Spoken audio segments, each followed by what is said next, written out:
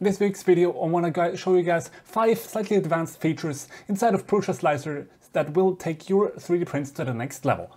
Hey guys, David here and welcome to Maker Software, the weekly series in addition to my project videos where I show you one really cool feature or software that will greatly help you in your DIY projects. To start off, I'm going to use this uh, 3D model of a Witcher desk riser, which is one that I sell in my store. And uh, first of all, a quick bonus one, uh, to place it on its back instead of rotating it 90 degrees, I'm going to click place on face and then you can just select uh, the back uh, if you actually hit the right face. But the first feature that I actually want to show you guys is that if you have a look here, uh, we have this fairly easy shape on the bottom. So I'm using a large layer height of 0.2 millimeters. But then here at the top, uh, this model is fairly detailed and you start losing a lot of uh, detail with such a coarse layer height. What I can now easily do is in here, in the overview, click this little icon up here. And this will allow you to add variable layers you can see this gray uh, kind of shapes. That is basically your layer lines that you will see in the end. And then here on the right, you see the print. If you hover over it, it highlights yellow which height you are. And by either right clicking or left clicking, you can add or take away extra layers. So by holding down the left mouse button here on the top, you can see it turns green. That uh, means that there are more layers now. And if you look close, the layer lines are now a lot closer together. So here instead of 0.2 uh, millimeters layer height uh, might only be 0.1 or even less. Uh, and uh, this will very easily allow you to uh, get more detail in the areas where you need it, but save time in the areas where you don't need it. Then for the next tip, we're gonna use the same model and go over into the print preview. And you can see that this looks a lot more uh, defined. But actually, I don't want to print these all the same color. But I don't have a color changing printer and you don't need a color changing printer to uh, print multicolor. What you can simply do is take the slider here on the side that lets you uh, preview the print, uh, go to the first layer which you want in a different color. So here all of that I want in one color and then here on the next layer where it starts to draw the Witcher's uh, shape I want a different color. And then you can hit this little plus icon here on the side and this will add a second color. And you can see that it now uh, changes the coloring into uh, the version where you can see which is printed with what color. And it will now print all of this and then it will stop the printer, ask you to change out the filament and then continue printing with the second color. This way you can very easily achieve two colored prints on a very basic 3D printer. The third feature I want to show you guys is custom support. If you want to print this model, this is part of an Alien Queen model, uh, then you can see that this model will not be able to uh, be printed uh, without any supports. That is just uh, impossible overhangs to print. But if I print this with supports enabled uh, regularly, it will generate supports all in here and all up in here, which will not be possible to be removed. So what you can do instead is use the paint on supports feature. This will allow you to custom say where you want supports and where you don't want supports. By using the left mouse button, you can paint on uh, where you want your supports. Blue means you want supports there. You can also change your brush size down here to, uh, if you want a larger area. And instead of saying where you want supports, you can also say where you don't want supports. So let's say uh, we're going to use a really big brush for that. Instead of uh, left clicking, which is blue, you do right clicking and you say here, all this area, I do not want supports. And then this will let the slicer know that when it's slicing, here it will add supports and here it will not add any supports.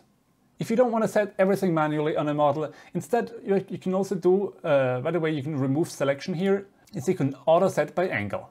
This lets you uh, choose the, the threshold angle at which you want to create. Let's say oh, you only want like fairly steep overhangs, so let's say let's use 25. This will uh, select these areas here then we can say enforce. But it still also selected some other areas. So to deselect those, we can use shift and left mouse button. And as you can see, uh, these uh, little blue spots disappear. This lets you very easily decide where you want your supports. And then here you go, you can see that it uh, only created supports here for these uh, two little wing areas, but not all of these areas back here. Now you still might have some drooping issues with these uh, blue highlighted areas, but it will be very hard to see these areas, so I think that's uh, much more acceptable than having support material that is impossible to remove. For our fourth tip, we have here another part of this model. I scaled it up a bit, but uh, you might find a model online that is just too large for your printer. Uh, what you can use is selecting the cut feature. This will let you define a specific area where in, in your print which will uh, be used to cut. You can uh, select this cut area, you can say if you want to keep, which part you want to keep, perform cut, rearrange, and now I can print these and then later glue them together. Another thing where the cut feature can be useful is if you have a model uh, that has no really flat spot. Now this model here I could just put on this top here, but then it would be some nasty overhangs. But if we look at this foot here uh, and we look at the print preview, you can see that there's only really this one point that actually contacts the build platform. So this will not print well at all. It will basically just be supports. But what we can do is we can use the cut and just move it down a lot move it up ever so slightly, you start to see, and let's say about here looks good. Uh, still most of the foot is here, but this will give you a big uh, flat spot. And then in this case, we do not want to keep the lower part, perform cut, and now you have a flat surface on the bottom of your print, which will make it stick to the platform a lot better. And then for a fifth and final trick, uh, let's say for the sake of argument, we want to print these two models at the same time here we have a very detailed, fairly small model. And on the other side, we have this uh, much uh, larger model that you might get away with a bit less detail.